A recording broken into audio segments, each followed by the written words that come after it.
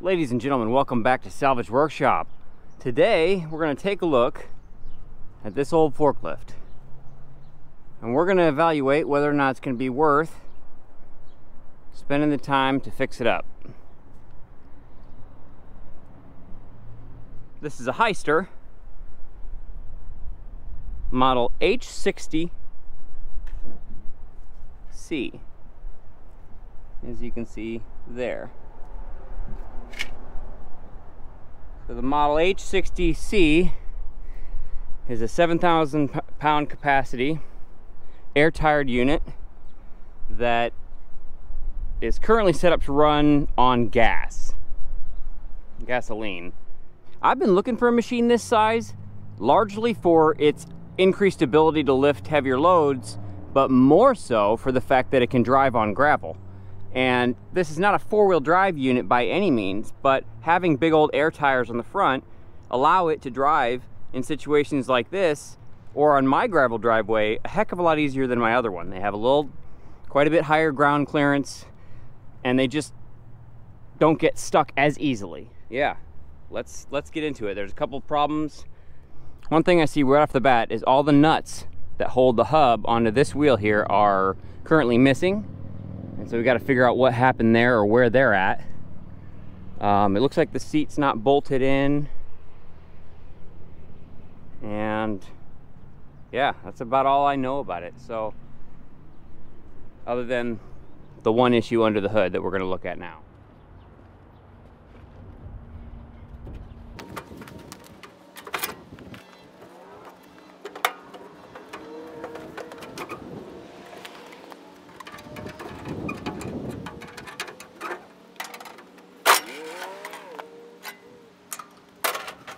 All right, off the bat, I see this cable that goes over to the seat plate is disconnected.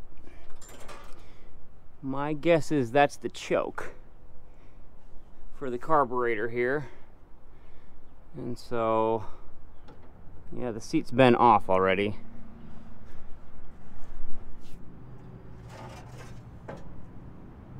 All right, now we're gonna take a look at the issue that's most concerning to me, and that is that there are no spark plugs.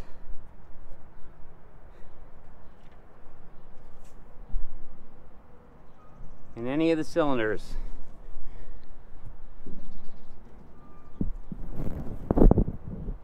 You see that?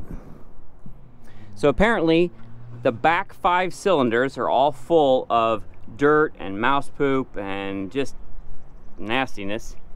And this front one is also, but this front one is also full of some sort of, sort of liquid. Water, something, probably water. And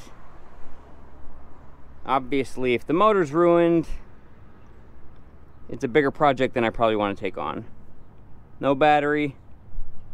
Does have a HystaMatic transmission, which I assume that's an automatic because I don't see a clutch here. So that's your gas right there. Those two pedals that move together are the brake. And then over here on the shifter, you've got forward, neutral, reverse, and then the high and the low that won't move. So I think my plan is to pull a few more things off on the motor and just kind of take a look and see if we can figure out how bad the top of the motor is before we go any further.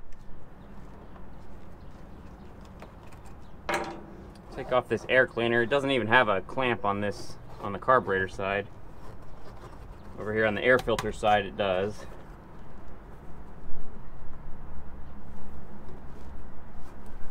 It's like there was a mouse nest in there. And the lip of this thing is kind of eaten up and cracked.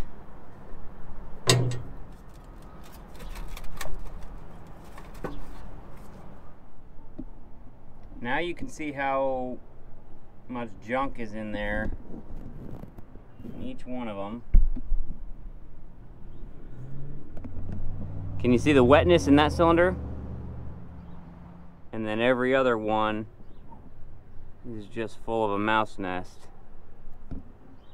Now, this is a Continental six-cylinder flathead. I believe it's an F226 or 227 based on the markings that I found. Not overly difficult motors to work on, and from what I've been told, they're actually pretty much tanks, and they can take a lot of abuse. So I don't want to turn it over with an issue like this and end up causing bigger problems down the road or, or creating problems that are avoidable. So let's try and clean it out as best we can and then we'll evaluate from there. All right, I'm gonna take this distributor cap off, just make a little room.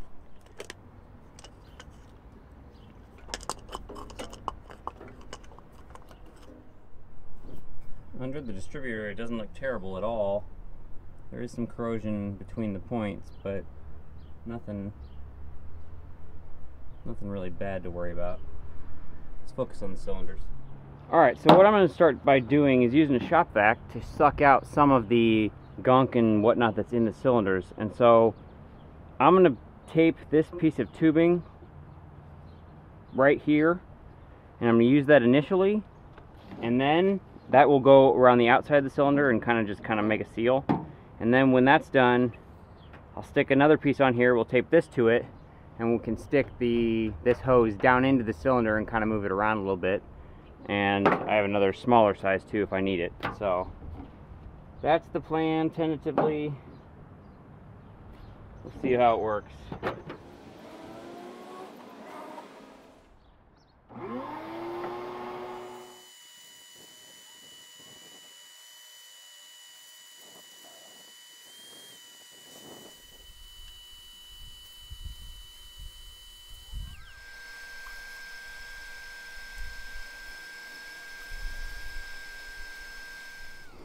So I did find one of the spark plugs laying in the machine and where the other five are, I have no clue. But at least it gives me an idea of what plug was in it so I can buy a few more. Now, one of the big things I want to figure out is why there were no spark plugs in it. My thought is they were having problems spark somewhere and they just never got back to it.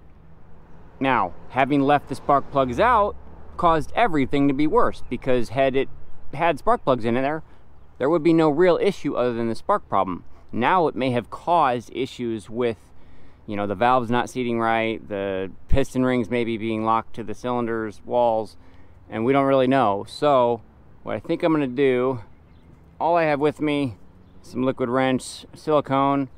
I'm gonna pour it in all the cylinders, just a whole bunch.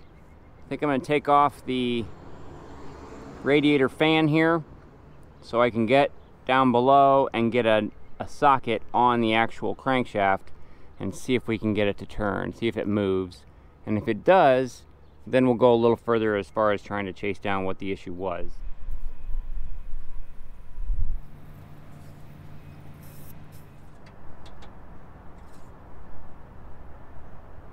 Oil is way over full, so the full mark is right there, and we're way up here. Now, it feels thin. It doesn't feel like water's in it. So maybe they tried something else doing the same thing and stuff leaked down. I don't know. Guess we'll figure it out.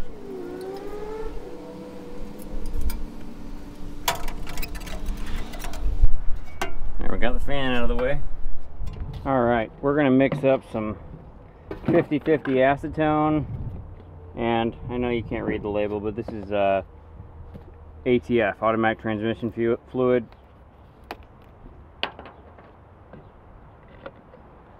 Try and see if we can't use it to break the cylinders uh, loose.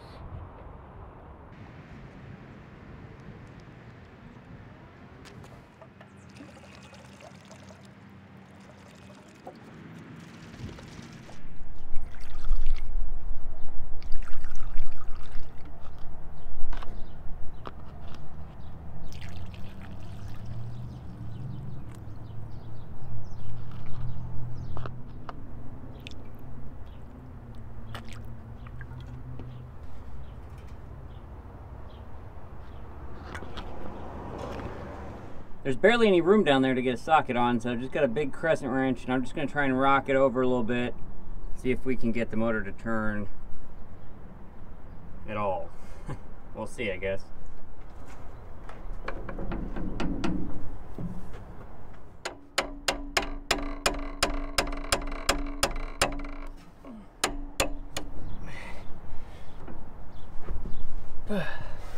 This is why you don't take your spark plugs out when you let it sit. Like I'm gonna have to at least take some of the coolant out. Can't really get in there to rock the motor over very easily with the kind of the water pump pulley in the way.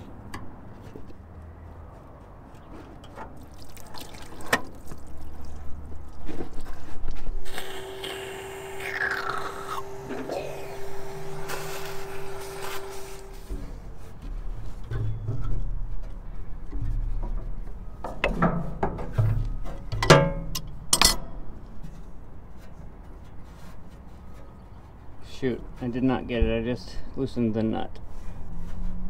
Wonderful. Alright, well, I decided to take off the water pump here, which is on the side of the block, so that I can get better access to working the motor over back and forth.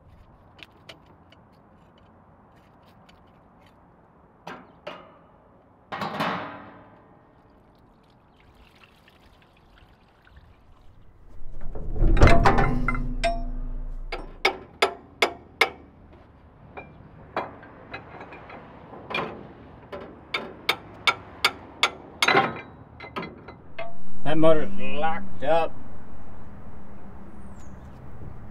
So I'm gonna take the head off. We're gonna see what we see.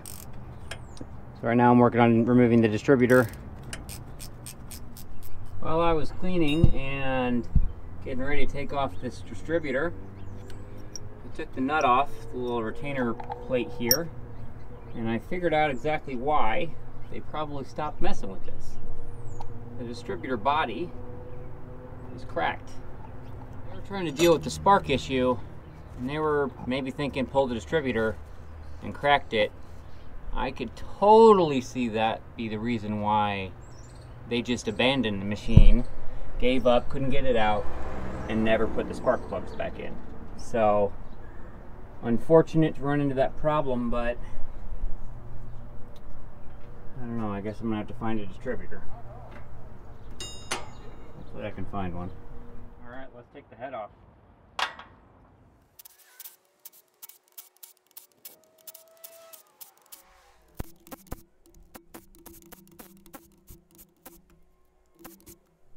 There's what it looks like underneath the head. So some of the valves some of the valves look stuck. That one looks rough, that one looks rough, that one looks rough. We're gonna get it all cleaned up and then we'll take another look at it.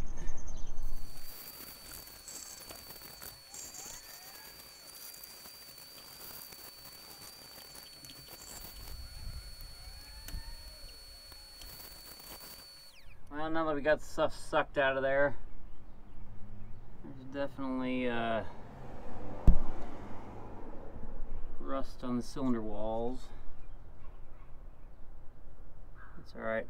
We'll get it cleaned up and see what we find.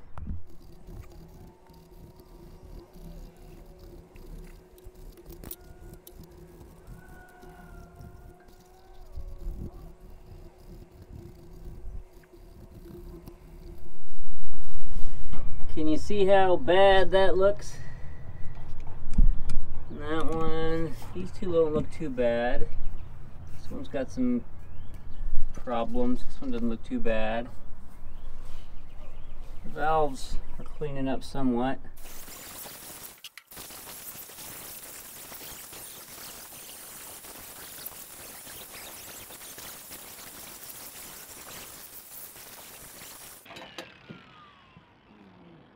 Well, starting to look kind of good. Alright, well, it is still locked up, and I believe that this cylinder and this cylinder are basically, I believe the rings are rusted to the cylinder walls. So, I mixed up some more acetone and uh, ATF, automatic transmission fluid. We're going to let that sit overnight, come back, and see if we can't get those rings freed from the wall. We might as well just do them all.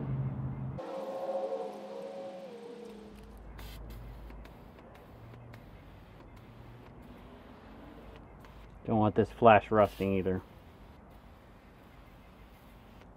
And then I'm going to set the head on it so that it can just be there.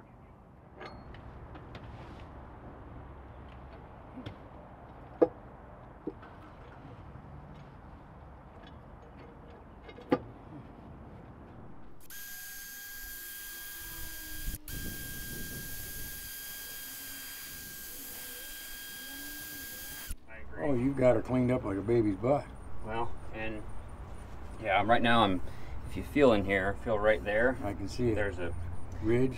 well, it's not even a Rust ridge. I'm kind of. There was, and then this.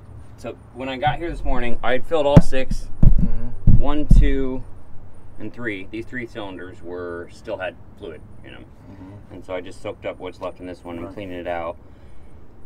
The, I mean, I took the angle grinder wire wheel last night, got it all cleaned up. I mean, I believe these three are free. I haven't moved any of it, but so what I'm trying to do is get the ridges out of there so that Mhm. when it does move, it doesn't rip Does those rip rings the rings out. hmm Right. And then, because there was, I mean, I'll have to show you the video. It's pretty sc- scaly. It was pretty bad.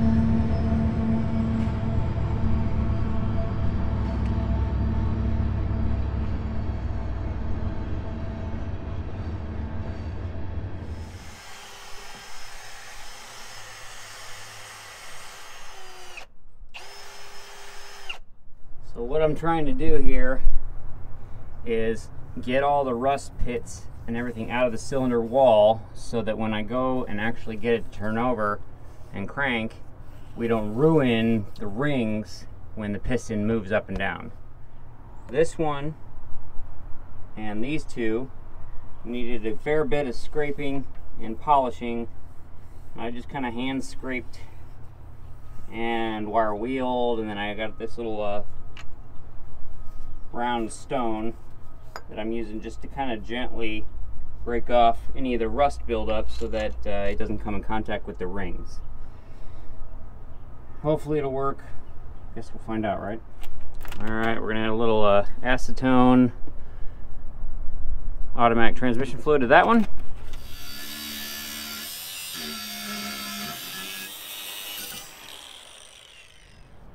All right, we're gonna use this to shock the cylinders a little bit. Take a piece of pipe, put it over the middle, and then we're just gonna smack it just once and then move to another one.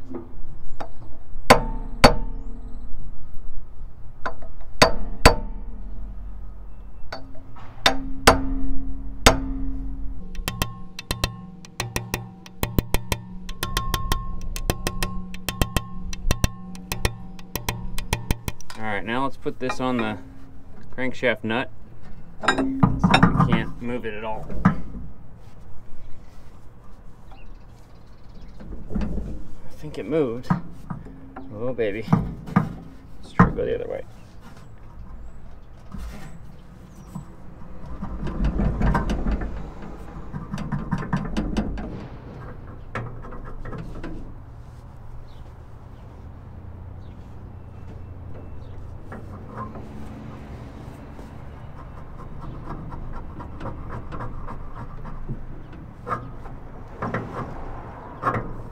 All right, it's moving like 16th of an inch, barely, just barely.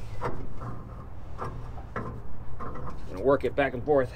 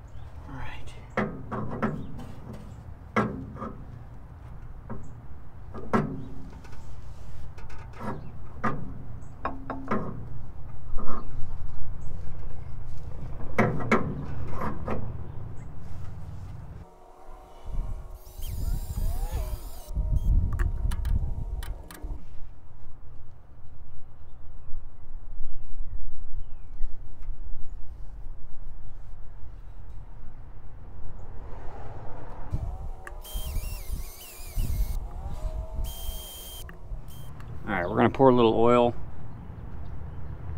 on top of each of these cylinders while we work it back and forth.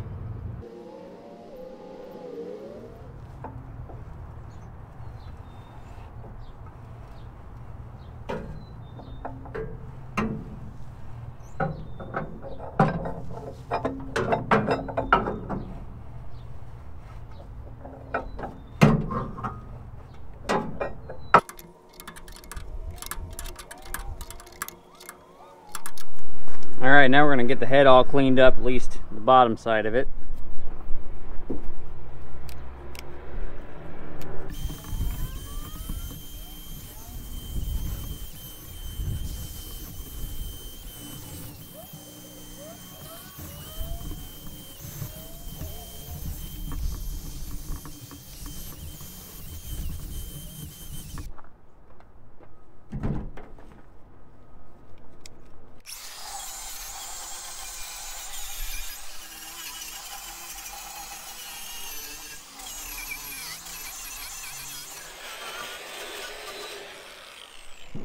All right, now I'm trying to get the broken distributor right here out of the head.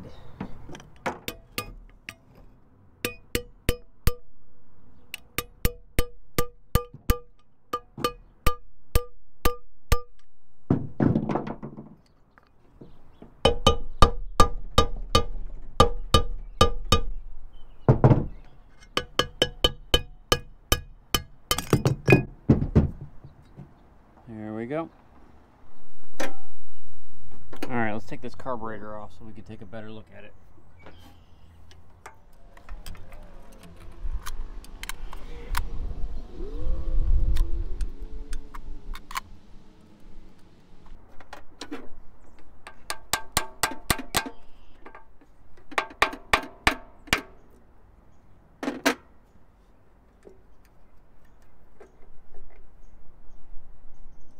I brought the carburetor home. We're going to clean it up and kind of get it gone through so we can kind of fix it up.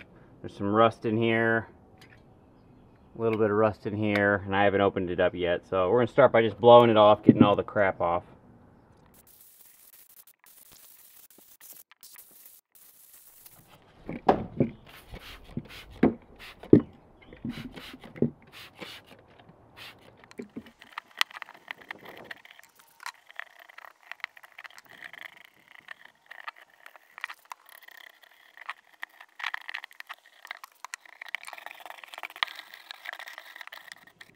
Carburetor's a little cleaner now.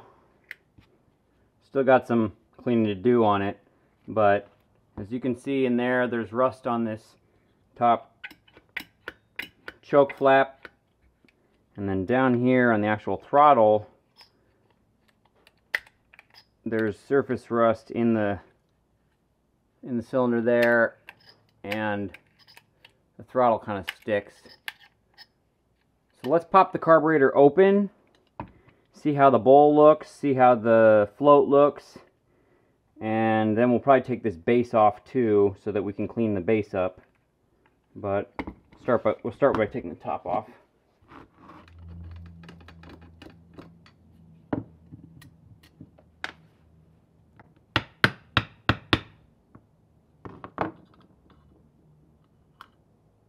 Mmm, crusty.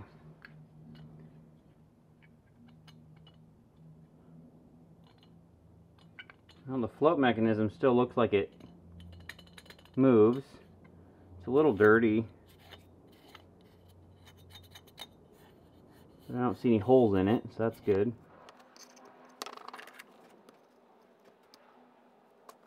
That's just awesomeness.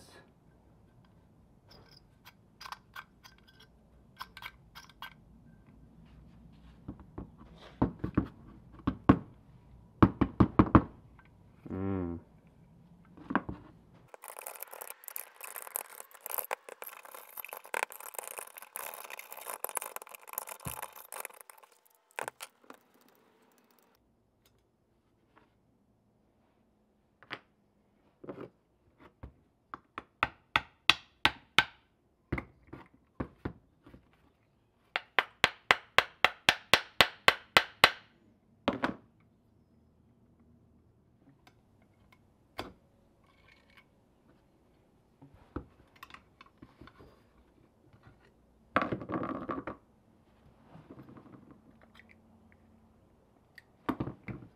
There we go.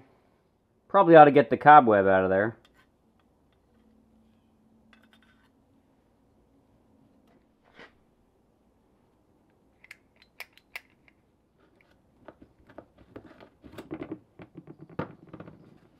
Now we got it all cleaned out, we can get that rust out of there.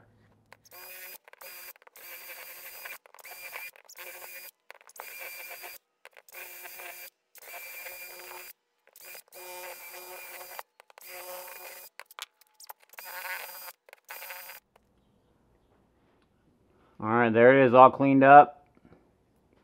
No rust.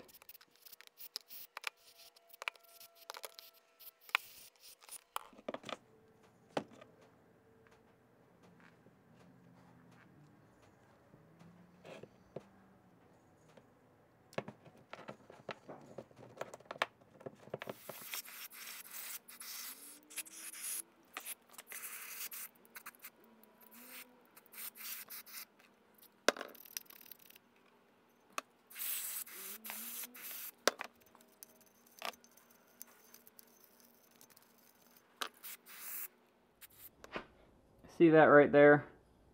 From about right here all the way to the there. Kind of looks like a crack. I'm going to clean that up. I hope it's not. I think it's just a casting imperfection. Let's just uh, hope for the best here.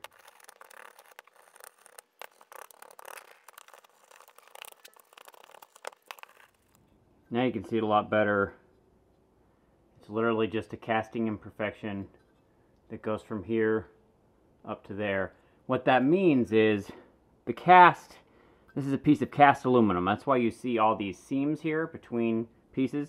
And so what they do is they inject molten aluminum or whatever their casting metal is into a form and then that's how they create this part. And it can be done with other materials than just metal, plastics, and whatnot. But um, many times, right where there's two pieces to the cast or to the form, typically, and they're they're sandwiched together. And the reason for that is so that you can take them apart. And you have to have a way to take it apart so that you can basically get the cast part out. Sometimes they're cast in sand, sometimes they're cast in, you know, other ways, but um, no matter what, there's usually always a seam somewhere. It looks to me like this line here is just a casting imperfection. So it's not a crack because there's like a little raised lip there. So that's good. Glad to find that out. Float needle actually looks really, really good. Man, there's just barely a bit of corrosion on there, but it is in great, great shape. The float itself looks really good. It's just got some general corrosion just on the bottom. Just a general bit of corrosion right in here where the fuel comes in. We're gonna looks like this. This is this elbow here is free. So right here on the choke arm, choke lever here, at one point it broke right here and so they had to braze this little piece back onto the arm so that it wouldn't wouldn't fall out. Because typically they're like crimped in there. Um, you see that a lot on old machines where you know little things are broken and you know the fix did the job. You know at the end of the day that's the kind of fix I would I would leave. I might have cleaned it up a little bit but it'll be fine. This carburetor is not going to be perfect. We're just getting it cleaned up so that we can put it back to work and see if the machine works. See if we fix it or not. And then if we have to do a full carb rebuild later, we will.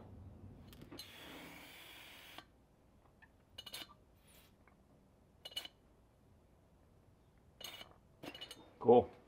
Float's working.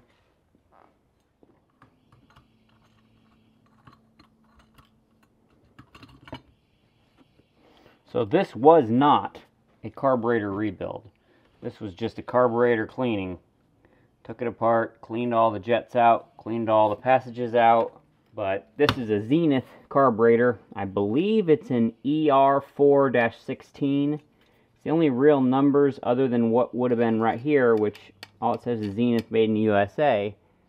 One thing I was curious, I'm I'm tempted to convert this machine from gasoline over to propane or LP. And I've heard it's not too difficult to do. And so if you've ever done that, let me know. I'm debating on it. And the big reason is is because propane not only does it burn cleaner, but it also doesn't go bad like gasoline does. Gasoline, if you don't use it enough, it goes stale and then, you know, you it causes problems with, you know, not having you know, not running well or at all. And so you know, I have my other forklift that I have is also a Continental flathead, but it's a four cylinder. And so the that thing starts up immediately every single time. And I don't know. Let me know your thoughts on doing that. If you've ever done one, let me know. Do I need to change any jets in the carburetor to make it run properly?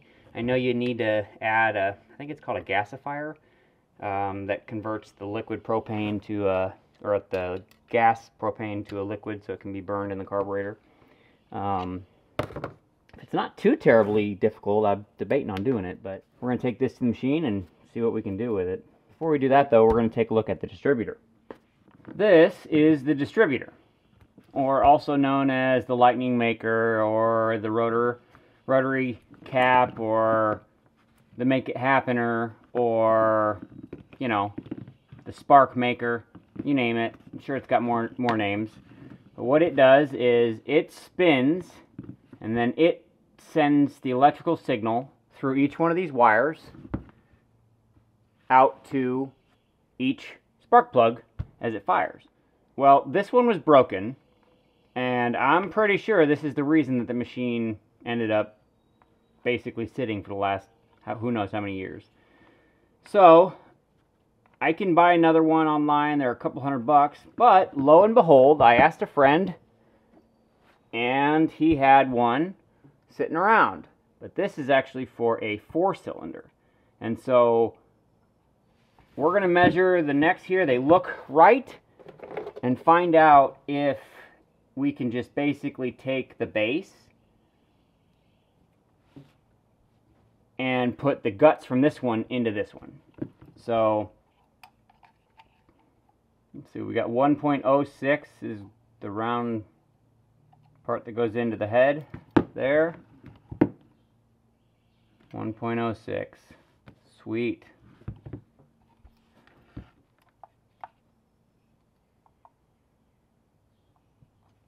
That is 1.47. 1.47.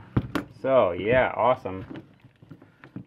The one that came off the forklift had this other port here, but it was never used or tapped into. There's no threads, there's no hole there. And this one does not have that. But they do both have a grease zerk right here on the neck.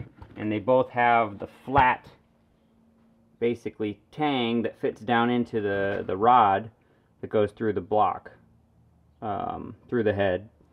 So let's take this one apart. Let's take this one apart and see what we've got.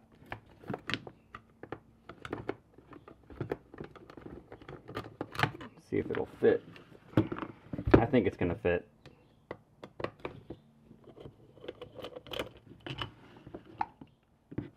Alright, so the only difference that I see is right here, when this thing spins, there are six little lobes, six points that each contact and open and close these points.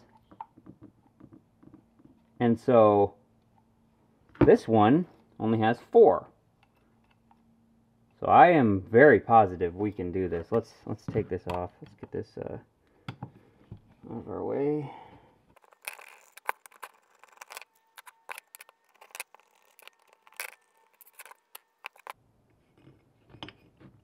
Looking pretty good so far. Alright, there's a little roll pin right here. I believe we punch it out.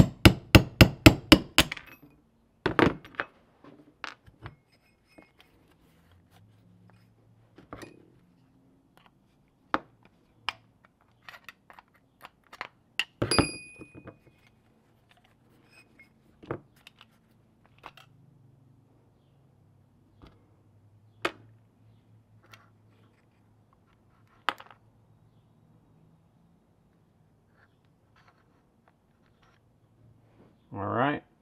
Assuming this shaft fits in that one, we got a distributor that's going to work. So as you can see, that one was broken right here at the base. Just like that.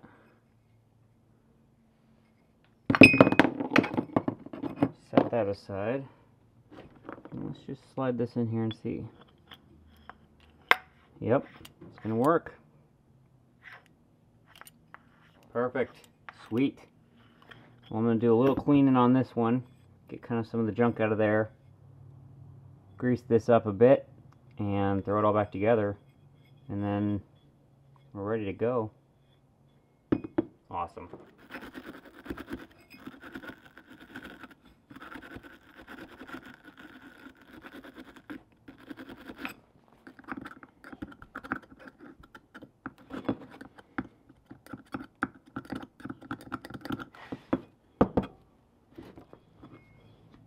Minute or two on the wire wheel and that thing cleaned up real nice.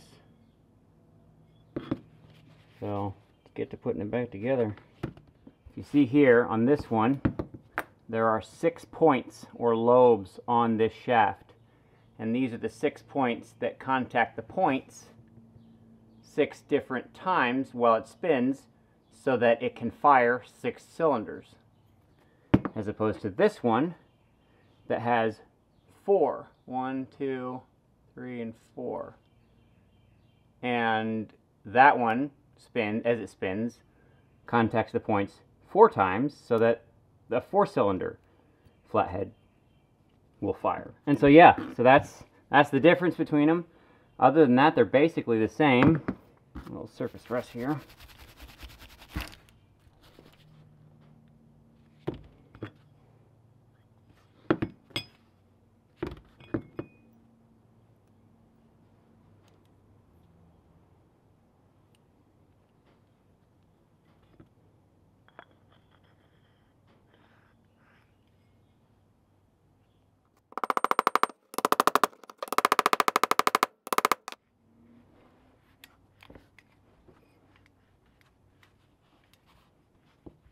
Sweet.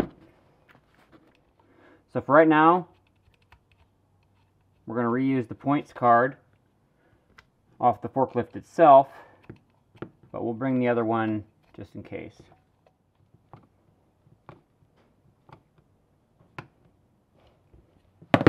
There we go.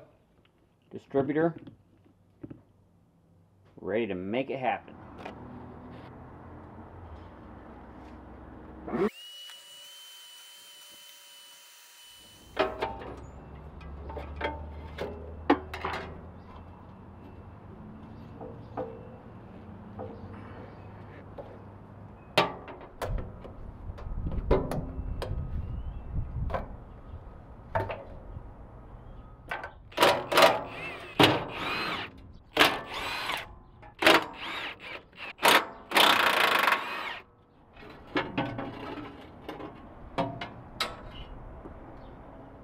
Jump and carry jumper pack hooked up to directly to the battery leads. We're going to short the solenoid, cross over the solenoid, and see if we can get the starter to turn.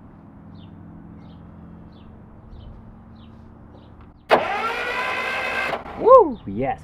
Heck yes. That's the crank pulley right there. Awesome. Nice and smooth. Plenty of cranking power. Guess we better put this thing back together. I think she wants to run. So somebody mounted this metal crappy toolbox on here and so I think I'm gonna take it off.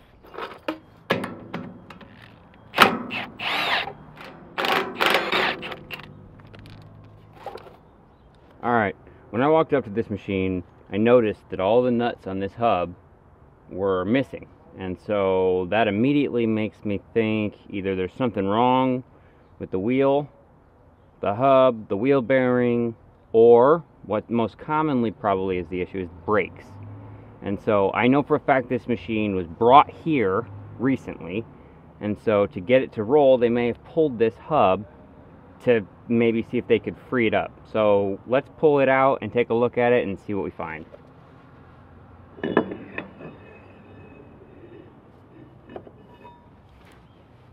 Well, I don't see any issues at all. All the splines look good, the shaft looks straight. Everything in there looks pretty good.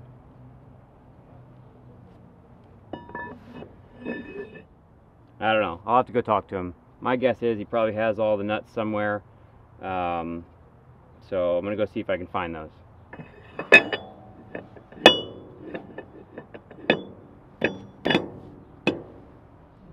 Of course, lo and behold, there they are. And he told me exactly what I thought. They had the brakes locked up and they were trying to figure out how to get it moved, so they pulled the hub to make it easier to roll it. So for right now, I'm going to reinstall these little cones and then we are going to put it back together. So it has these little tapered cones that slide in to center up the hub itself.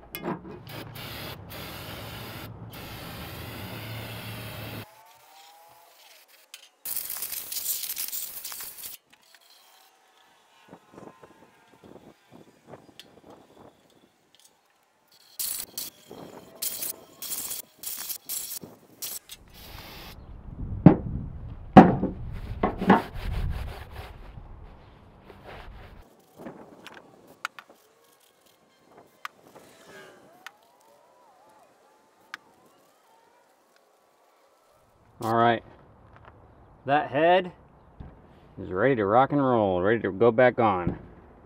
Exciting. Okay, here's where we're at. We've got the block to clean. We're gonna clean it up, blow out all the dust and rust pieces that we can, get it all dry and ready for the new head gasket. The head is clean and we're gonna put a straight edge on it, make sure it's straight, make sure the block is straight, other than the fact that water sat in this machine, I am really not worried about it at all. We may lose some compression in like this cylinder here just due to the fact that there was rust pitting on the walls, but everything else should be okay. So we bumped the starter, we know the starter works, and so at this point, it's ready to start putting it back together. The little uh, clicky clackety electric fuel pump does not work. So I got a new one of those. I got some other new parts for it. So we're just gonna jump right in, start cleaning this up and get it ready for the new head gasket.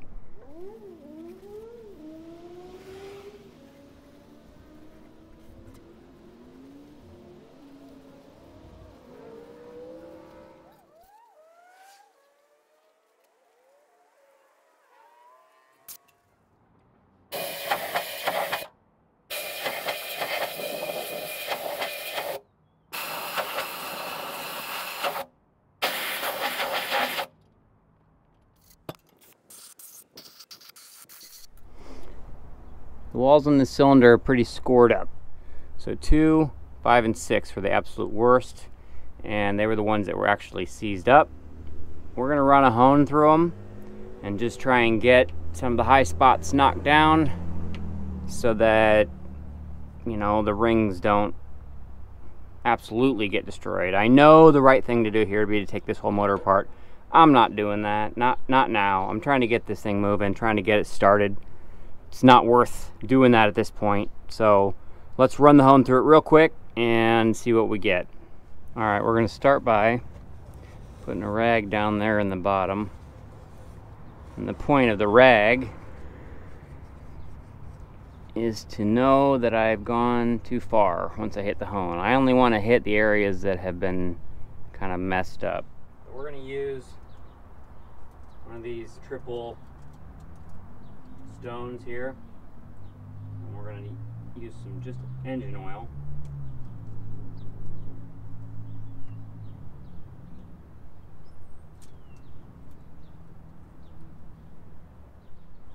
And then you just start going.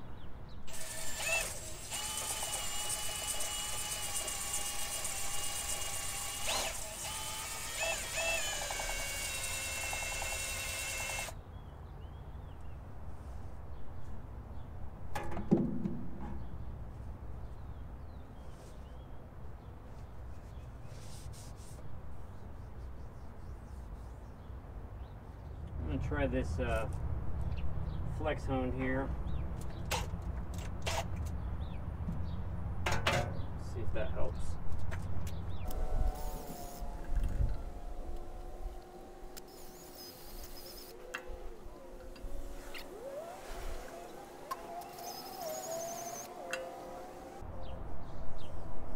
Almost there. Let's do that again.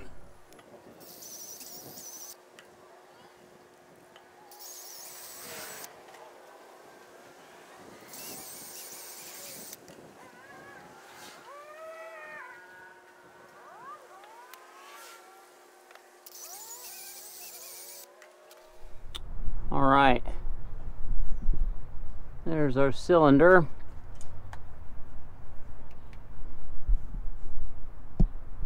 So you can still see some pitting, but it is way better. And to be honest, it's going to be fine. We're not looking for an amazing runner here. This was one of the bad ones too. But we've knocked down all the high spots. This see this cylinder here is perfect. Which this cylinder, this cylinder, and this cylinder are all perfect. This one, this one, and this one are all three of the ones that had the problem of uh, the locked up rings. So yeah. All right, now we're gonna work on cleaning the cylinders and the cylinder head location so that we can get it nice and clean and ready to ready to be put back together. And yeah, I know I shouldn't be using paper towels, but this is not a high class repair here. This is a, let's see if this thing's worth its time repair. And it is, it'll be worth it. I know it. Borrow this over real quick.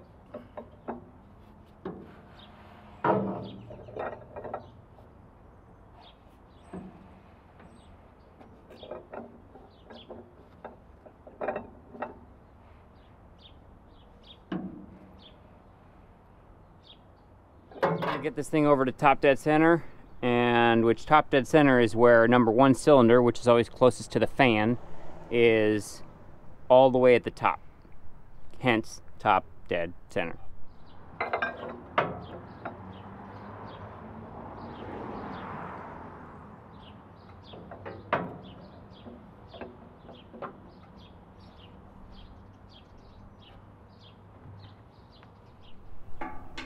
So this is what top dead center looks like on the motor. So this cylinder here, this cylinder here are perfectly at the top with the valves closed. Yeah, if you look at the blog here, it looks completely different than when we opened it up. Just crazy. I'm excited to put this back together. Old head gasket had a pretty bad damage. Corner right here when I removed it. I messed it up, so unfortunately I can't reuse it. I wanted to until I messed it up. That's alright. Got a brand new one. Now, we'll get the new gasket set on. And the only thing that's important is that this hole be right over this hole here for the distributor. Because the distributor goes through the head right there. And so what we did is we got the surfaces all clean, oil free, and there's no sealant that goes between this head gasket and the head itself. So perfect. Let's get the head, put it on.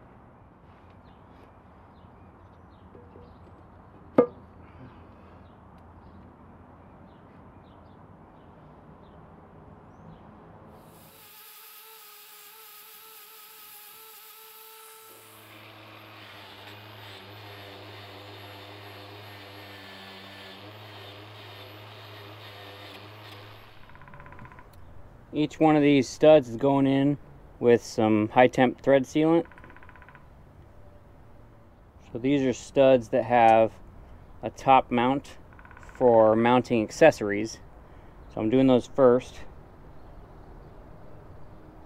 Just so I know I get them in the right holes. And then the other studs will go in all the rest of the holes. And this is why I cleaned the threads on these bolts since we're reusing them. These flatheads don't put as much pressure on the head bolts like modern engines do, and so you can reuse the head bolts. This machine is a late 70s model Hyster. So I had a couple bolts here started just to line everything up.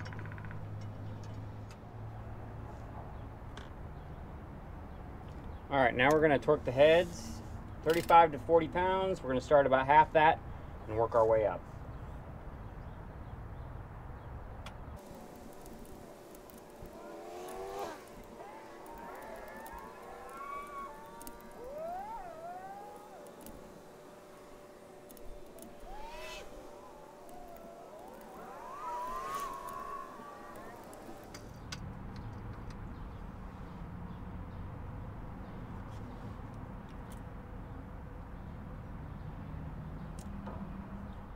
And 40.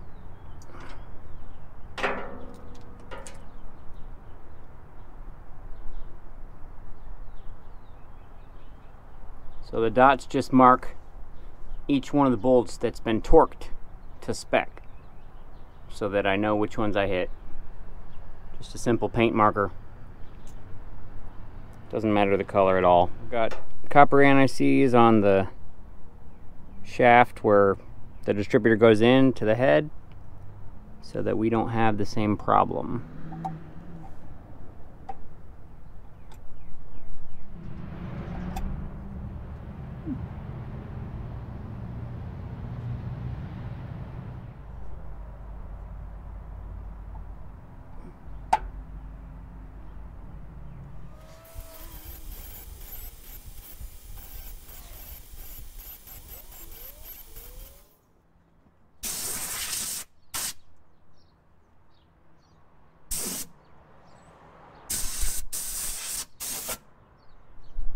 All right, so what I had to do here is just take the bottom flange of this bolt off because it was coming in contact with the distributor here and making it so that it kind of bound up a little bit. And now it should work a lot better. There we go. Now it doesn't bind up on the bolt head right there. All right, this is a little hold down clamp. Goes on the distributor like that. It allows you to tighten it down, but then loosen the nut, and then you can just turn the distributor when you're going to set it at the right point. Carburetor's ready to go on. Thermostat housing. So the water temperature sensor here broke and I couldn't find exactly that one but I happen to have this style. So I'm gonna go ahead and use it because it's only gonna be for a short time. The plan is to add a set of gauges. This machine only has a fuel gauge and an hour meter. It has four light up sensors on the dash but they don't actually give you any any feedback as far as like what psi everything is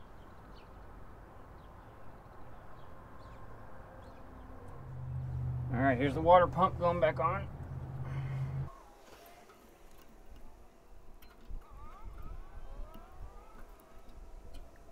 So we need to gap these spark plugs to 0.025 with a wire gauge.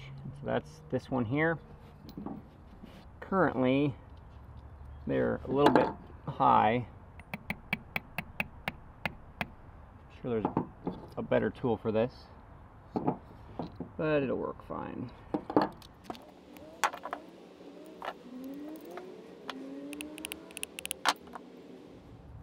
So you want the gauge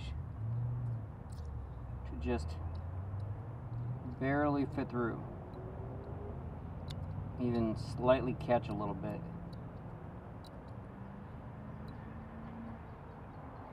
So we'll do that the rest of the to the other five. We'll go put them in. We'll put in the missing part that ruined so much of the motor. The motor is completely put back together.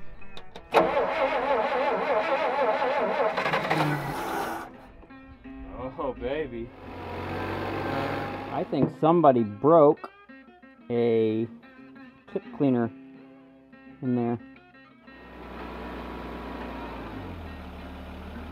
So I am ready to rock and roll home, and guess what? I'm driving this baby home.